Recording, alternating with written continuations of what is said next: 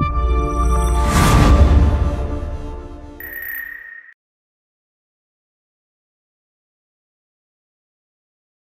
everybody, welcome back to my channel. My name is Jackie and today I am here to do my November 2019 TBR. So November is going to be a weird month because I have so much stuff going on this month, you guys, that I don't know how much time I'm going to have to read at all. And I'm giving myself a small TBR.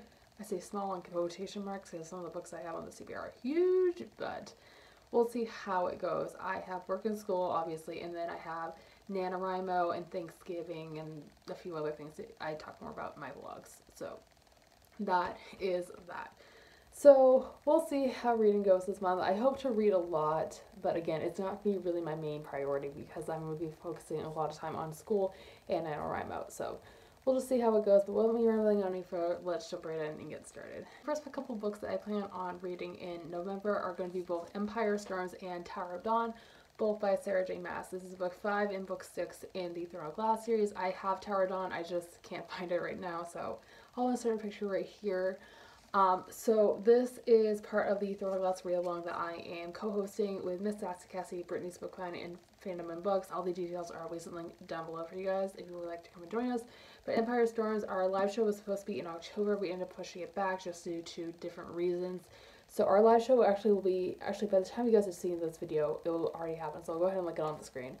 Um, but yeah, I need to read this by Tuesday, November 5th. Um, and then Tower of Dawn, I think our live show is going to be at the beginning of December, if not the end of November. More details to come on that. But yeah, I'm really excited to read both of these books. They are both rereads for me. And yeah, I'm just excited to dive back into this world. You guys know I love Throne of Glass. I consider Sarah J. Maas my favorite author of all time. So both of these books will be read at some point in November. The next book I plan on reading in November is actually a book that I have already started, and that is It by Stephen King. This 1200 page chunker of a book. Yeah, I hope to read at least a good amount of this in November and this is one I'm going to be listening to on audiobook. I actually started this at the beginning of October. I got like 25 pages and not very far at all. Um, but I am really liking what I have read so far. It is, I'm sure most of you guys know what this book is about. It is a adult horror novel about a small town in Maine and a group of kids that live there who are being terrorized by this killer clown named Pennywise that's all you really need to know.